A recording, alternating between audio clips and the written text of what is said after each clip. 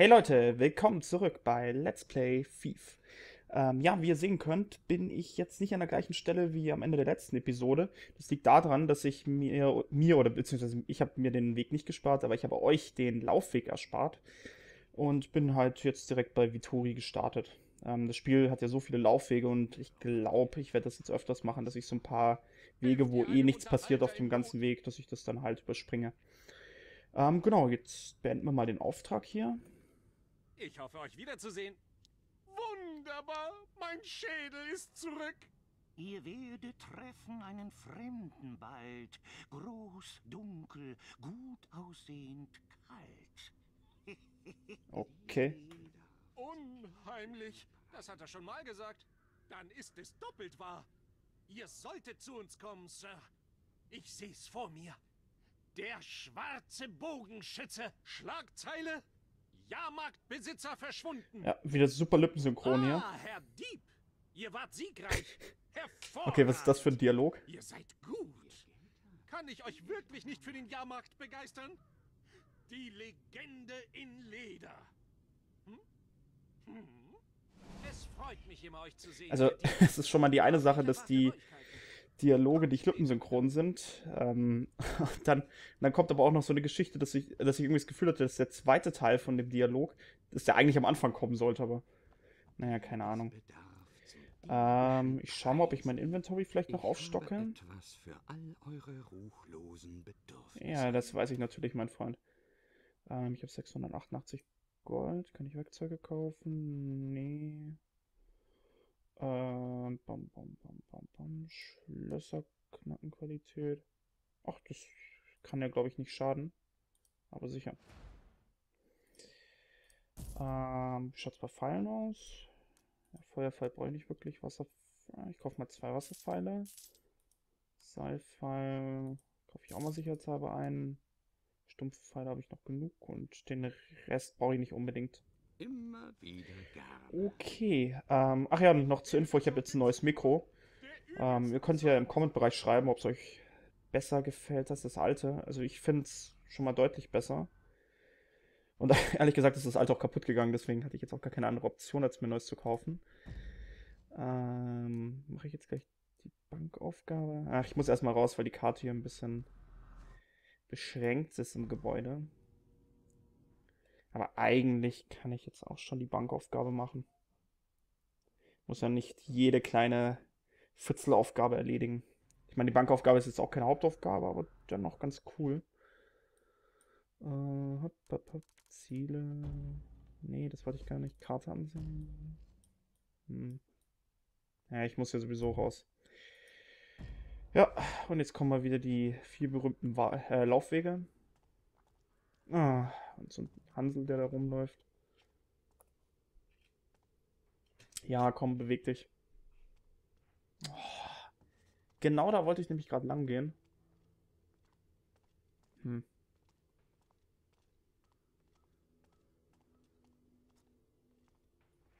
Weißt du was?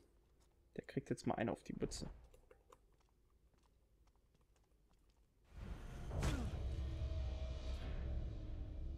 Ein bisschen seltsam, dass die Fackel automatisch ausgeht. Aber naja, soll mich nicht stören. Supi. Was? War hier noch einer? Oh Gott. Du hast nichts gesehen, aber der hat's gesehen. Oh Gott. Oh Gott. Ähm, ja. Äh, ich muss weg. Nein, ich kann nicht weiter, weil ein Alarmzustand ist, oder was? Okay. Ist das ein Scheißdreck? Ich hasse Wachen mit Fackeln. Das ist wirklich... Ist eigentlich ein Unding, dass die hier mit Fackeln rumlaufen.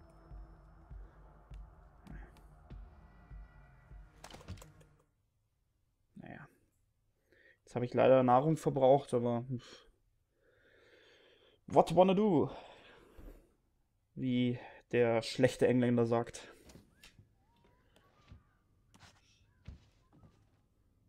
So. Ja, da drüben ist wieder der eine, der mich jetzt... Der mich nicht sieht, okay. Chillt er auch rum, oder was? Das war nämlich jetzt ein bisschen offensichtlich, wie ich da rausgekommen bin, aber... Was soll's.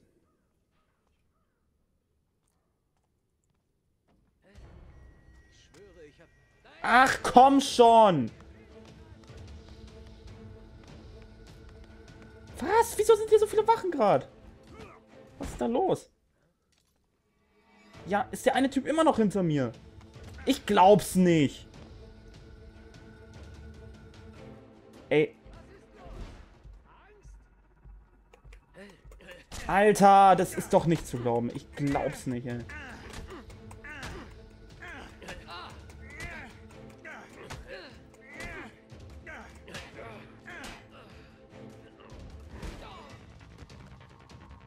Ah, das ist.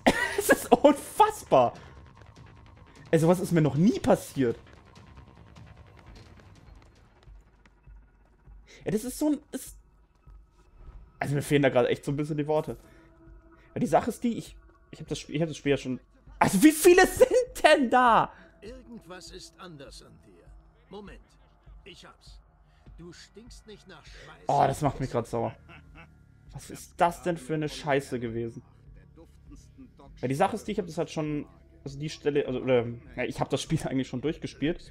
Und im Prinzip ähm, war das dann immer so, wenn, wenn man durch solche Städtebereiche wie hier geht, ich laufe nur noch an den Gegnern vorbei, ich renne vorbei, gehe vorbei, werde eigentlich nie gesehen oder erwischt. Ich check nicht, was los war. Also, also norm- normal hat das immer so ein Flow, das, das im Prinzip, dass man eigentlich gar nicht entdeckt wird. Ach, ist das zum Kotzen. Ich habe so viel Nahrung verbraucht, das ist wirklich...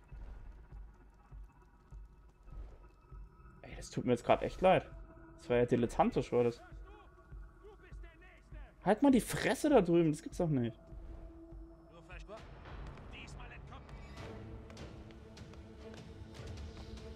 Weißt du, bewegt sich auch keinen Millimeter von der Stelle weg.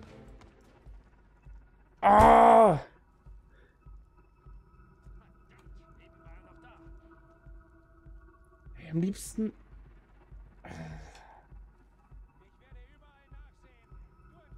verpiss dich doch. Das gibt's doch gar nicht. Oh Mann! Du versteckst dich gerne, was? Nee, überhaupt nicht. Ich will einfach nur vorbei. Du blödes Stück Scheiße. Das gibt's doch gar nicht. Hey, ich bring dich um, Langfinger! Hä?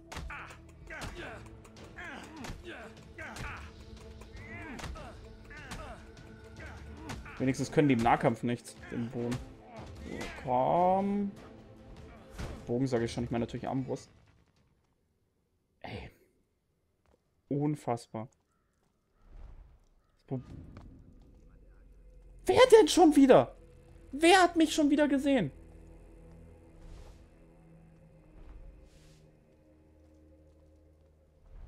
Ich höre das doch schon wieder, dieses blöde Geräusch. Oh, Mann. Es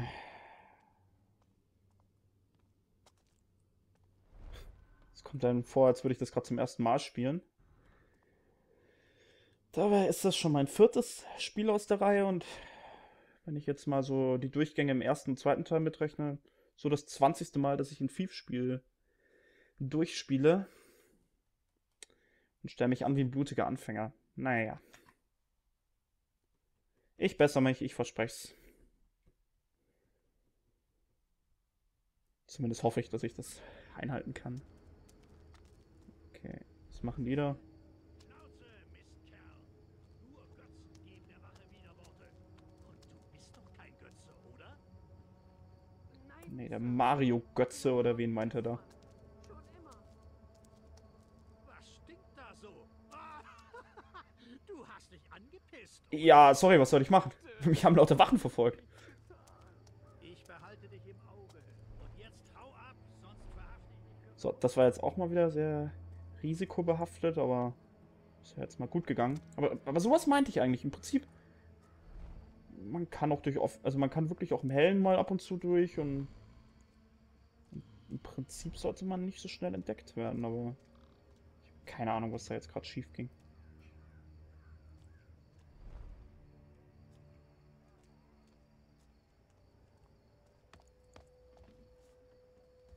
Ich habe gerade leichte Hänger, merke ich gerade. Ich weiß nicht, also ich speichere auch relativ häufig, also ich benutze ja permanent den Autosave. Ähm, ob das jetzt damit zusammenhängt, aber irgendwie bei den letzten Malen kam mir das nicht so vor. Hm. Muss ich mal ein bisschen drauf achten.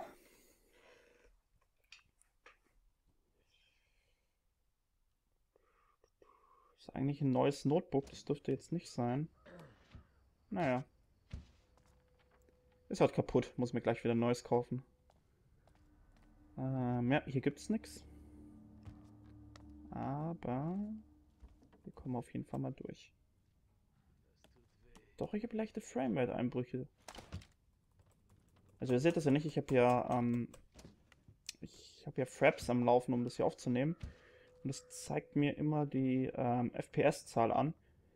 Und normalerweise limitiert Fraps die auf 30 FPS. Aber jetzt sind es äh, immer knapp unter 30. Also so 25 sowas im Dreh.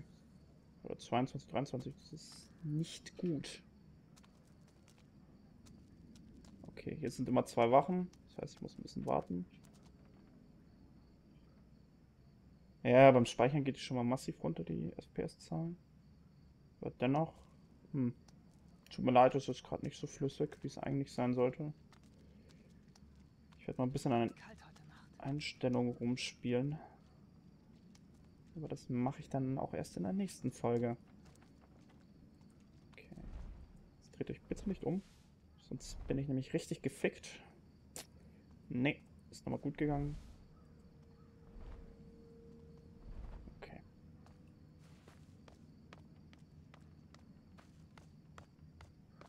Ja, ja, ja, dein Herz macht das nicht mehr lange mit, ich weiß, ich weiß.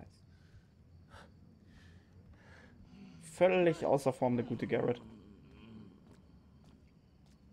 Kaum hat er mal ein Jahr nicht trainiert, schon geht da gar nichts mehr.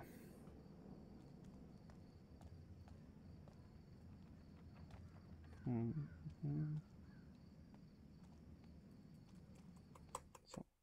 Wie gesagt, ich mache jetzt erstmal den Bankauftrag. Und das war's dann auch mit Nebenmissionen, weil. Also normalerweise bin ich, bin ich ein absoluter Freak, was das angeht. Wenn es irgendwo noch so ein kleines Viertelchen an Nebenmissionen gibt, muss ich immer gleich alles machen. Ähm, Habe ich da schon mal reingeschaut? Ja, ich schaue jetzt mal. Ähm, aber in dem Fall macht das ja auch nicht so viel Spaß, glaube ich, dazu zu schauen, weil die Missionen sich dann, also die kleinen Nebenmissionen sich schon ziemlich ähneln. Hey, Mond. Nahrung wäre mir zwar lieber gewesen, aber egal. Sonst noch was? Oh, was haben wir da? Köder und Schalter. Lesen wir uns doch mal durch. Oder schauen uns das Bildchen an. Ähm, ja. Ich habe es, glaube ich, schon mal erwähnt. Ähm, hinter so bestimmten Säulen, äh, oder, nee, Säulen sind es nicht, sind Obelisken, ähm, sind Schalter versteckt, also hinter solchen abschraubbaren Schildern. Oh, da vorne ist übrigens so ein abschraubbares Schild. Ähm, verstecken sich dann Schalter. Ich weiß aber nicht 100 Pro, was die genau auslösen. Beziehungsweise sie müssen, glaube ich, in der richtigen Reihenfolge gedrückt werden, um grob etwas auszulösen. Falls da irgendjemand eine Ahnung hat, was genau da passiert, kann er gerne schreiben. Würde mich nämlich auch mal interessieren. Ja. Moment, ist das der richtige Auftrag? Nicht, dass ich jetzt hier einen Scheiß mache. Zur Bank. Doch, das ist der. Hä? Aber der heißt der Bankraub. Wo stehe ich denn gerade? Ah, ich bin auf der falschen Seite, okay.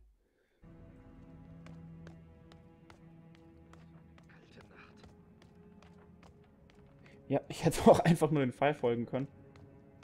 Ah, ich weiß nicht, was heute los ist. Komplett verplant läuft er hier durch die Welt. Aber jetzt endlich. Der schon lange versprochene Bankraub. Erinnert mich, wie gesagt, schon sehr an Thief 2 oder Dark Project 2, wie es im Deutschen hieß, ähm, wo es auch eine sehr, sehr, sehr, sehr coole Bankraubmission gab ähm, die halt besonders stimmig war, weil es in FIF 2 ja diese dampfbetriebenen Roboter gab, die dann auch durch die Gänge geschlurft sind sozusagen und das war richtig, richtig, richtig spannend. Aber die Mission steht dem eigentlich nichts nach. Und da sind wir auch schon. Maschinen lassen sich nur schwer ablenken. Ich muss aufpassen. Ja, ich glaube, das ist nämlich eine kleine Reminiszenz an Dark Project 2. Hier gibt es nämlich ähm, Überwachungskameras. Und ehrlich gesagt, ich bin mir nicht mehr 100% sicher, aber ich glaube, das ist fast die einzige Mission, wo es die gibt.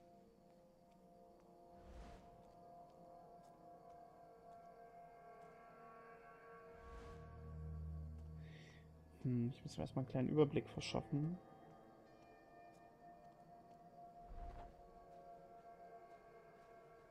Also da vorne war ja ein Typ mit einer Laterne. Ähm, vor dem muss ich mich ein bisschen in Acht nehmen. Ja, da ist er nämlich. Was ich glaube ich mache, ist, ich warte, bis er hier einmal durch ist und dann folge ich ihn und schalte ihn dann hoffentlich gemütlich ab. Äh, aus. Okay, da kommt nämlich jetzt hierher. Ich hoffe jetzt mal, dass ich hier in der Ecke sicher bin.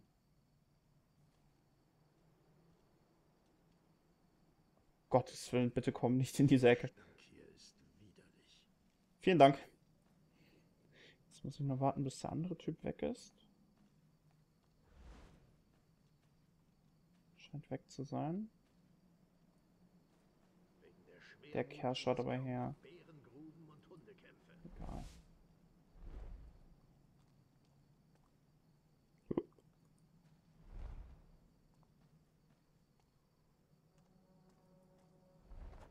Ich werde krank. Okay. Das spüre ich. Geht er hier einmal rum? Nee. nee, Jetzt erwische ich ihn.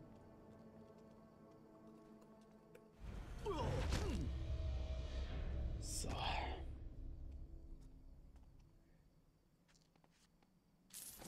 Nehme ich mir, oder eigne ich mir sein, sein Hab und Gut ein. Lege ihn mal schön in die Ecke hier und... Okay, wer lässt seinen teuren Aschbecher hier rumliegen? Die Laterne geht auch gleich aus. Das ist nicht so unpraktisch. Okay. Hm, Komme ich da nicht hoch?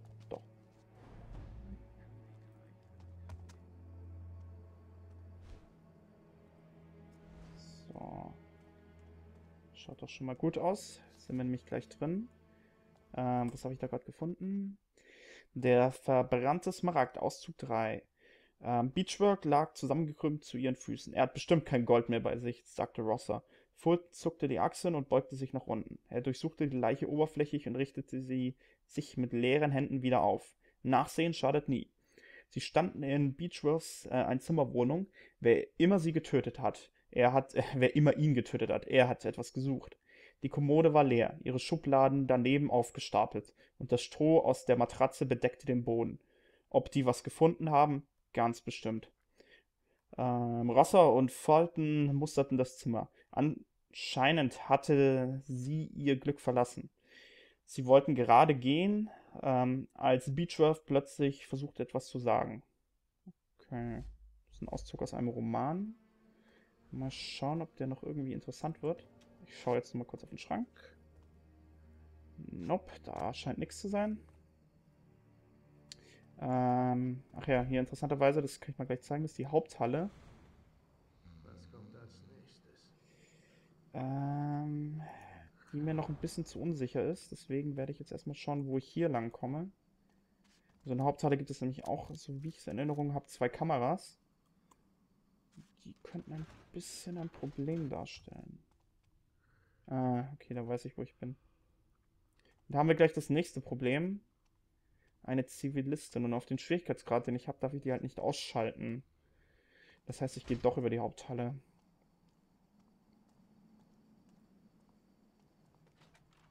Das wie gesagt, sonst ein bisschen problematisch. Aber hier gibt es ja auch noch einiges zu klauen, deswegen schauen wir mal. Okay, der Typ da drüben pennt. Ist schon mal gut. Ja, da ist die Kamera. Ich bin mir nicht mehr sicher. Kann man die ausschalten? Ähm Ah, ich wüsste nicht wie.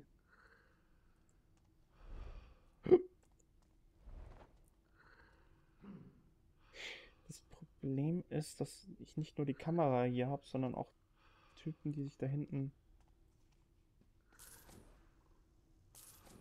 Ähm, die da hinter dem... Also nicht hinter dem Tresen, sondern hinter dieser... Doch, äh, auf der anderen Seite von diesem Tresen halt praktisch stehen. Und die könnten mich eventuell sehen. Deswegen gilt es ganz, ganz, ganz, ganz vorsichtig vorzugehen. Ich würde den Kerl so gerne ausschalten.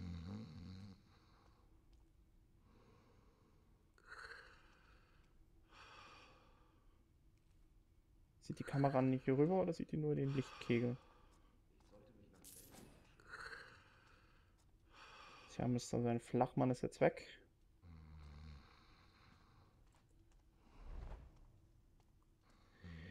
Ja, ich glaube, ich fange mal im oberen Stockwerk an.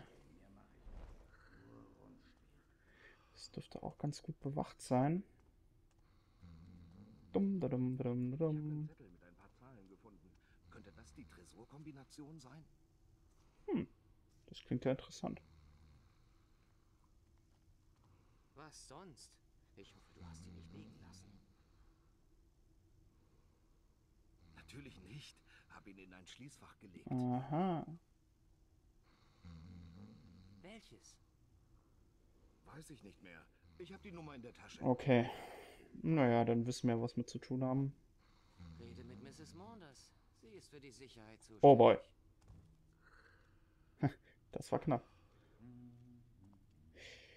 Ja, das ist eine relativ schwierige Stelle, deswegen mache ich hier mal einen kleinen Cut und ich sage, wir sehen uns das nächste Mal, wenn es wieder heißt Let's Play Thief.